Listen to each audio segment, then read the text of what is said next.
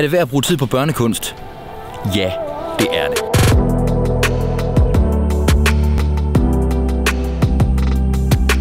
Når 600 børn i alderen 2 til 18 år har bidraget til børnenes udstilling 2020, så er det helt klart noget værd.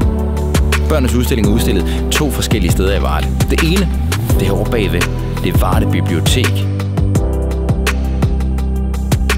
Og det andet, det er oppe på Museum Fralo. Det, der er foregået, det er, at alle de her 600 børn i alderen 2 til 18 år, der har bidraget til børnenes udstilling, de har fået udstukket et tema. De gjorde det helt tilbage i sommer.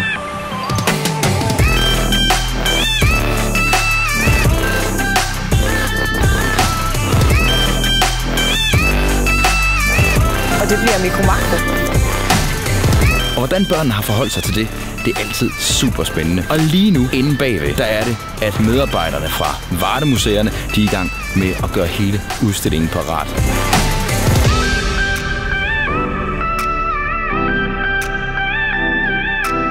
På torsdag er der fanisering, og alle er velkomne.